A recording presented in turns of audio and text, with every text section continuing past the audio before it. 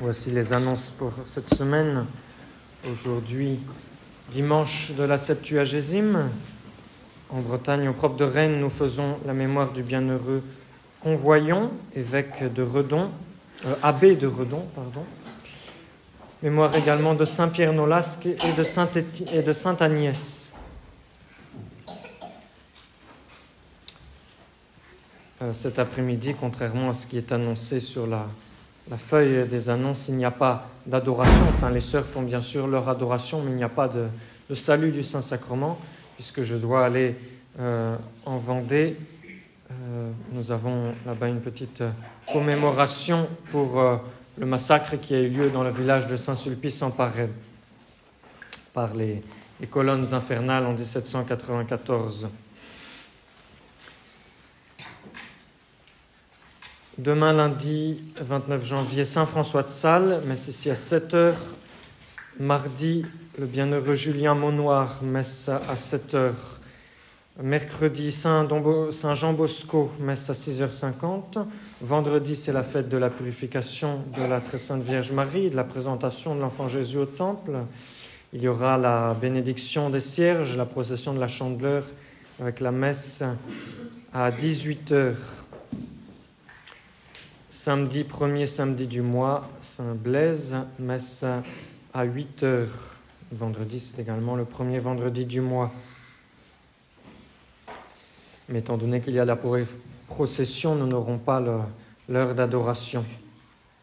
Et dimanche prochain, dimanche de la sexagésime, il y aura la messe ici à 7 heures, en général messe à 8 heures à Notre-Dame des Dons, à 10 heures au Christ-Roi, ici aussi également à 10 heures et à 18h à la chapelle Sainte-Anne de la Baule.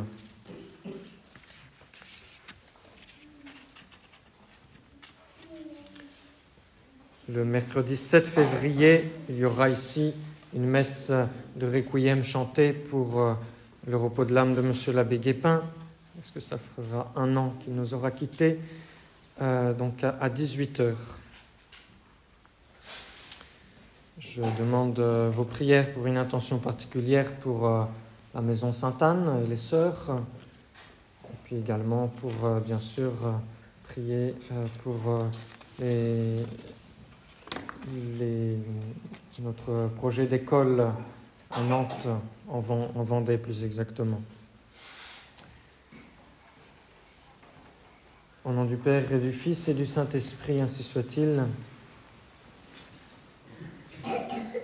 La mortification chrétienne a pour but de neutraliser les mauvaises influences que le péché originel exerce toujours sur nous, même après notre baptême. Le sacrement de baptême, tout en annulant complètement la faute originelle dans notre âme, ne nous rend pas cependant la droiture et la paix originelle. Il ne nous rend pas ce contrôle parfait que l'âme exerçait sur le corps quand Dieu a créé Adam et Ève dans le paradis terrestre. La concupiscence, c'est la triple convoitise de la chair, des yeux, de l'orgueil. C'est une révolte permanente qui gronde en nous. Le Concile de Trente reconnaît que la concupiscence se fait sentir en nous après le baptême afin de nous donner l'occasion de lutter victorieusement au cours de notre vie chrétienne ici-bas. Et la Sainte Écriture appelle cette concupiscence tantôt le vieil homme, tantôt euh, qui est opposé à l'homme nouveau, qui est Jésus-Christ vivant en nous, tantôt la chair qui est opposée à l'esprit, ou bien la nature déchue qui est opposée à la grâce. Saint Paul dit, je sens dans mes membres une autre loi que celle de l'esprit. C'est ce vieil homme, cette chair, cette nature qu'il faut combattre non pas pour l'anéantir, parce qu'elle fait partie de nous, c'est notre être, mais pour la mortifier, c'est-à-dire pour la réduire pratiquement à l'impuissance, à l'inertie, à la stérilité d'un mort.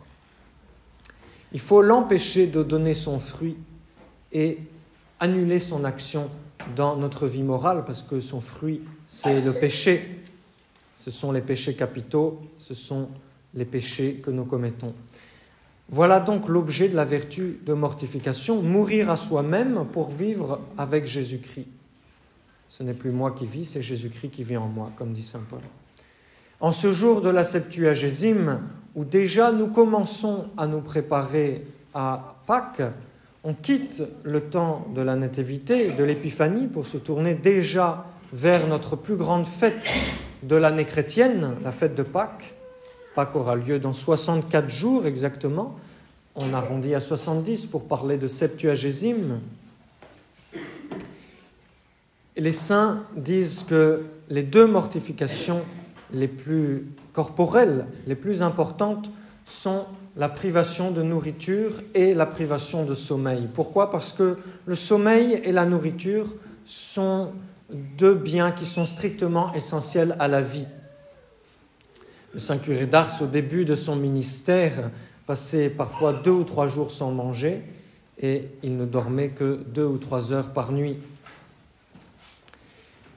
N'essayez pas de faire comme le Saint curé d'Ars, mais tous nous devons régler le sommeil et la nourriture. Ce sont deux points vitaux qu'il faut gagner absolument dans notre vie spirituelle, qu'il faut mettre au service du bien et non pas se laisser entraîner par eux, même si on n'accomplit pas de grandes mortifications, de grandes privations de nourriture ou de sommeil, il faut se borner au strict nécessaire.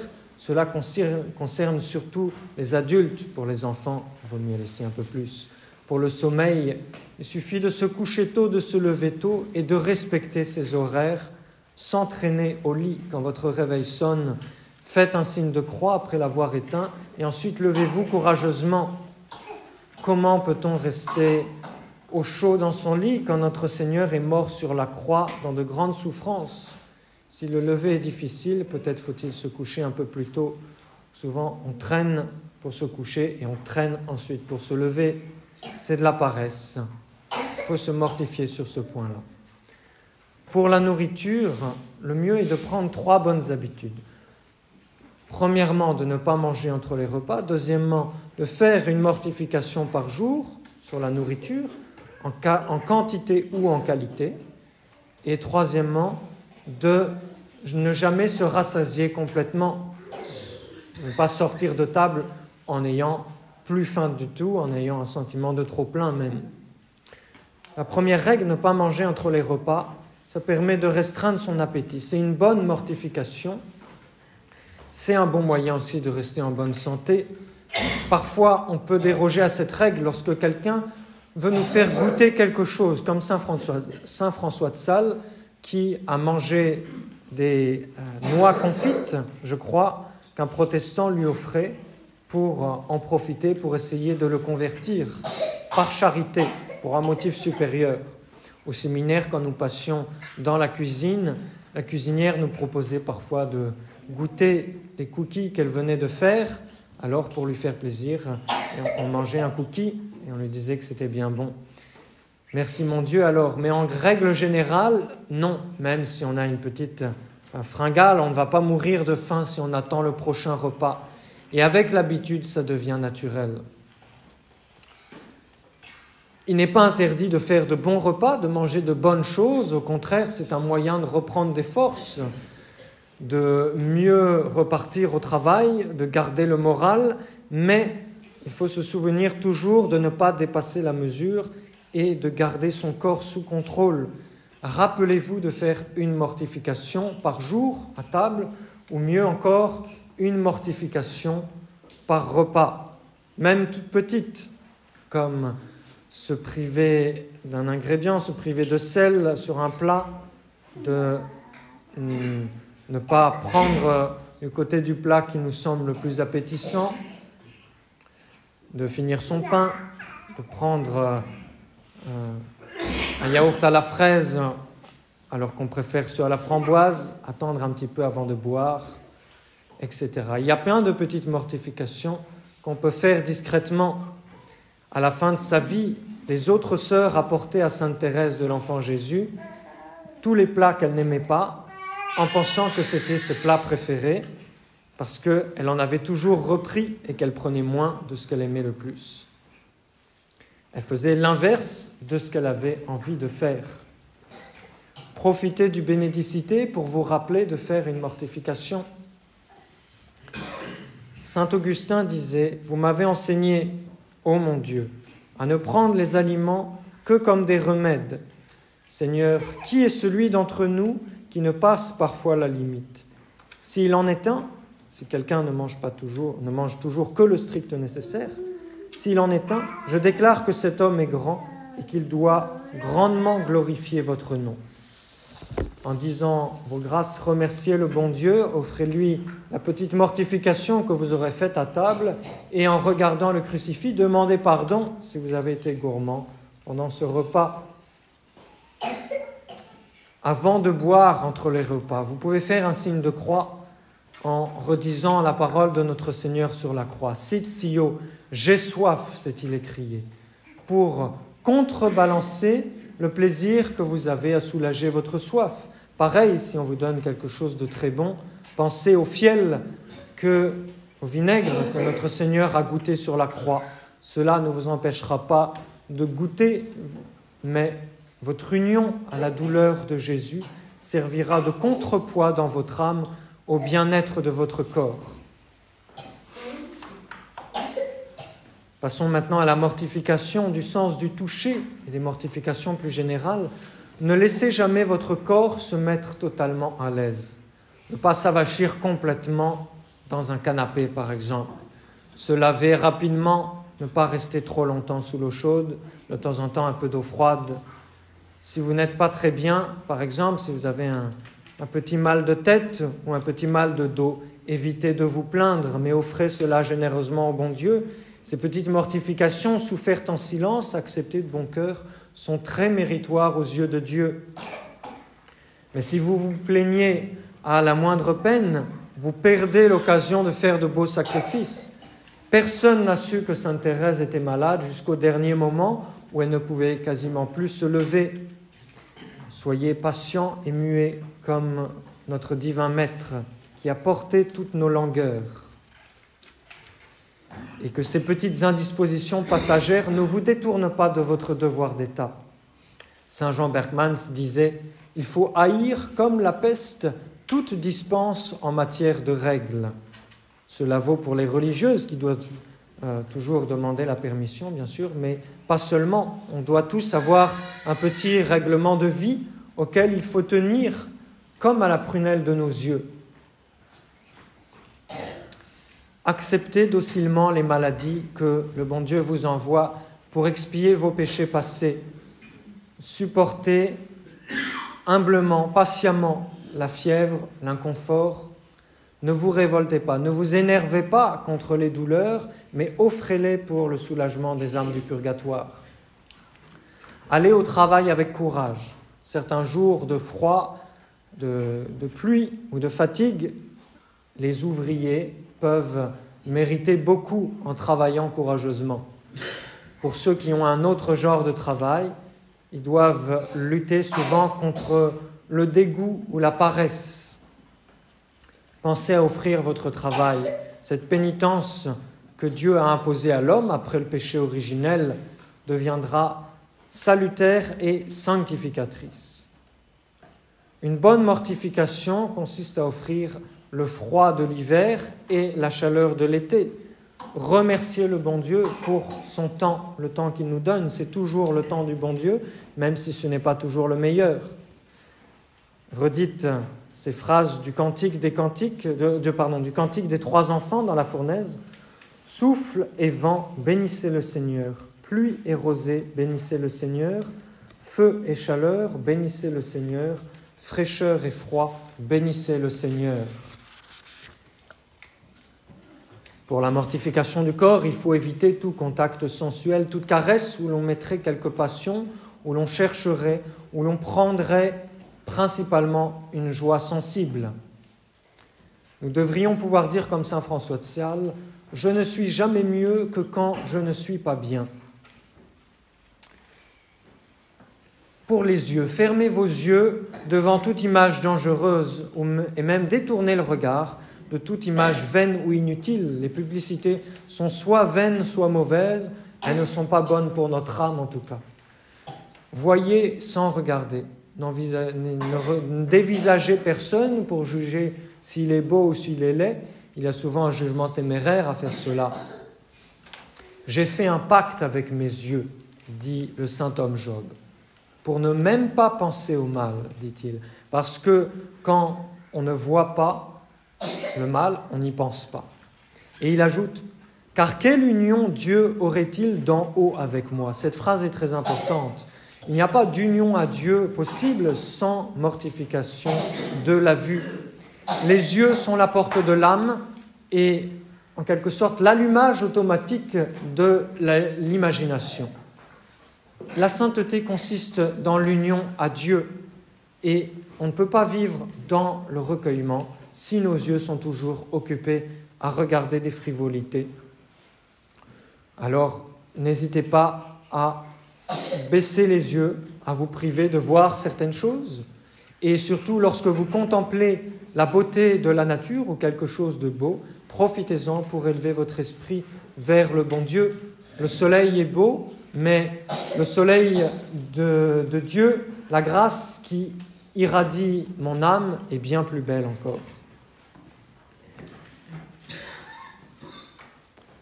Tenez vos oreilles fermées aux propos flatteurs aux louanges, aux séductions. C'est la peste de notre âme. Rejetez aussi les mauvais conseils. Quand vous entendez les autres dire des médisances et des calomnies, que cela entre par une oreille et sorte par l'autre comme si vous n'aviez rien entendu. Au lieu de sourire gentiment, euh, montrez votre répugnance quand une personne raconte une blague malsaine ou qu'il critique les supérieurs ou les prêtres ou les religieuses. Ne cherchez pas à écouter ce qui ne vous concerne pas. N'écoutez que le minimum des actualités pour rester au courant, c'est tout. Il y a beaucoup de mensonges dans les actualités. Forcez-vous à écouter de belles choses, de belles musiques, des conférences intéressantes ou nécessaires à votre état de vie, mais par-dessus tout, aimez le silence car c'est dans le silence qu'on entend la voix de Dieu. C'est difficile souvent quand on vit dans le monde d'avoir du temps de silence, mais il y a parfois de petits instants de silence et il faut en profiter. Alors ouvrez les oreilles de votre âme et dites souvent à l'intérieur de vous, mais parlez Seigneur, parce que votre serviteur écoute, comme disait le, jeune Samuel dans le temple lorsqu'il entendait la voix de Dieu qui l'appelait. Mais parlez Seigneur, parce que votre serviteur écoute. Le bon Dieu a des tas de choses à nous dire, mais souvent on ne prend pas le temps de l'écouter. Vous pouvez aussi mortifier vos oreilles en supportant patiemment les enfants qui pleurent, ou bien les, les, bruits des travaux, ou les paroles blessantes qu'on vous dit. Notre Seigneur ne s'est-il pas tu lorsque la foule criait, ou lorsque les pharisiens se moquaient de lui Quant à vous, parlez doucement et évitez de faire du bruit qui dérange le prochain. Et puis pour terminer avec les cinq sens de notre corps, mortifions notre odorat en supportant charitablement les mauvaises odeurs, en pensant à la, à la puanteur bien plus terrible du péché. Puissons-nous sentir, comme certains saints, la bonne odeur des vertus et la mauvaise odeur du péché. La mortification doit être universelle, continuelle et fervente. Et le meilleur moyen de mettre cela en pratique, ces trois qualités de la mortification, c'est de se mortifier dans les petites choses. Dans toutes les petites choses, en tout temps, en tout lieu, en toute occasion, et toujours offrir. Sainte Thérèse de Lisieux est un grand modèle de pénitence, non pas parce qu'elle a fait des pénitences extraordinaires, loin de là, mais parce qu'elle a fait beaucoup de petites mortifications et qu'elle faisait feu de tout bois, comme on dit. Saint Louis-Marie dans sa magnifique lettre aux Amis de la Croix, qu'il faut relire souvent, je vous y encourage, donne les conseils suivants. Faites profit, et même, avantage, et même davantage, des petites souffrances que des grandes. Dieu ne regarde pas tant la souffrance que la manière avec laquelle on souffre. Souffrir beaucoup et souffrir mal, c'est souffrir en damné. Souffrir beaucoup et avec courage, mais pour une mauvaise cause, c'est souffrir en martyr du démon. Souffrir peu ou beaucoup et souffrir pour Dieu, c'est souffrir en saint.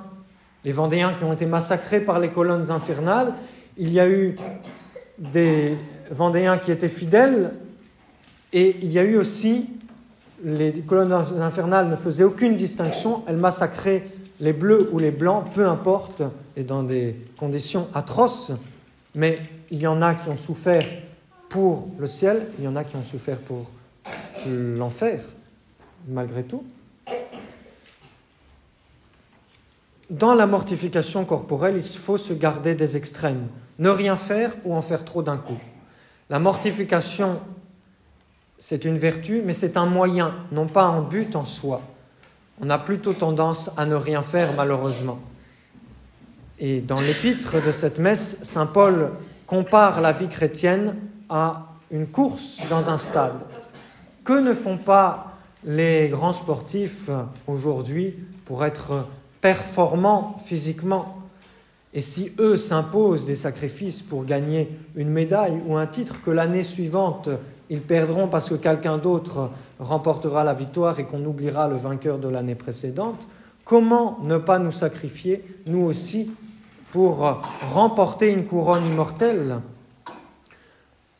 Saint Paul nous exhorte à combattre pour que nous soyons le premier. Non pas qu'au ciel, il n'y ait qu'une seule place, puisque la parabole de l'Évangile nous rappelle que tous nous pouvons obtenir le ciel, même si on se convertit tard, même si on commence à faire des efforts tard.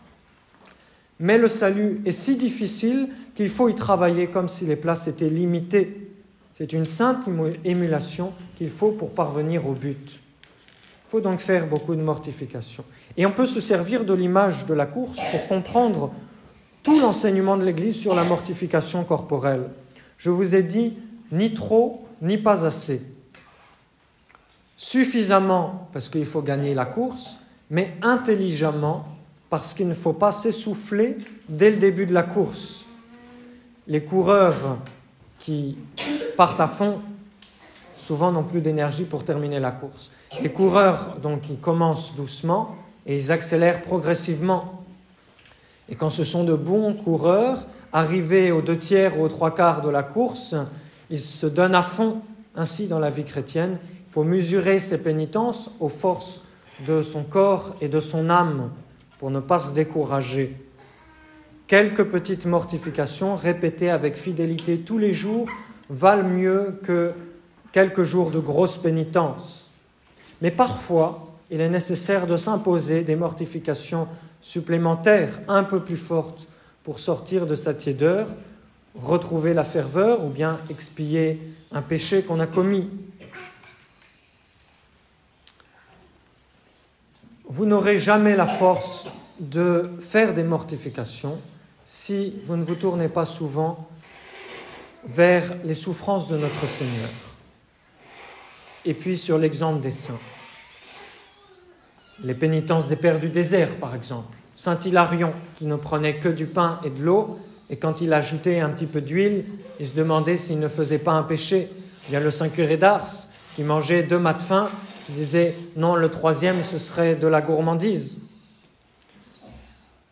Pensez à cela lorsque vous êtes tenté de manger un peu trop, ou bien alors à Saint Louis-Marie, qui portait des chaînes de fer et qui faisait des milliers de kilomètres à pied sans jamais prendre le temps de se reposer. Et bien sûr, pensez aux trois heures de souffrance de Jésus sur la croix, sa flagellation sanglante, où les bourreaux se sont acharnés sur son corps. Après trois ans de prédication continuelle, notre Seigneur a voulu souffrir. Pendant ces, ces trois ans de prédication continuelle, il a dormi dehors, il mangeait ce qu'on lui présentait et pas plus. Si bien qu'une fois ces apôtres qui l'accompagnaient devaient aller chercher dans les champs les épis qui restaient par terre pour sortir quelques grains de blé et pouvoir se nourrir. Ça veut dire que notre Seigneur, lui, avait bien peu mangé aussi. Qui peut se, dire prêt à donner sa vie pour Jésus-Christ s'il n'est pas un tant soit peu mortifié? Saint Louis-Marie Grignon de Montfort dit à gauche est le parti du monde ou du démon, lequel est le plus nombreux? Tout le plus beau monde y court, les chemins sont jonchés de fleurs, bordés de plaisirs et de jeux, couverts d'or et d'argent. À droite, le petit troupeau qui suit Jésus-Christ ne parle que de larmes, de pénitence, d'oraison et de mépris du monde. On entend continuellement ces paroles entrecouplées de sanglots. Souffrons, pleurons, jeûnons, prions, cachons-nous, humilions-nous, appauvrissons-nous, mortifions-nous, car celui qui n'a pas l'esprit de Jésus-Christ, qui est un esprit de croix, n'est point à lui. Il faut être conforme à l'image de Jésus-Christ ou bien damné. Courage, donc courage. Et il imagine la discussion entre les amis de la croix. Si Dieu est pour nous et en nous et devant nous, qui sera contre nous? Celui qui est en nous est plus fort que celui qui est dans le monde. Le serviteur n'est pas plus que le maître. Un moment d'une légère tribulation produit un poids éternel de gloire. Il y a moins d'élus qu'on ne pense. Il n'y a que des courageux et violents qui ravissent le ciel de vive force. Personne n'y sera couronné que celui qui aura combattu légitimement selon l'Évangile et non pas selon la mode. Combattons donc avec force, courons bien vite, afin que nous atteignions le but, afin que nous gagnions la couronne. Souvenons-nous aussi de cette, phrase de Saint Pierre d'Alcantara qui est apparue à Sainte Thérèse d'Avila après sa mort en montant au ciel resplendissant.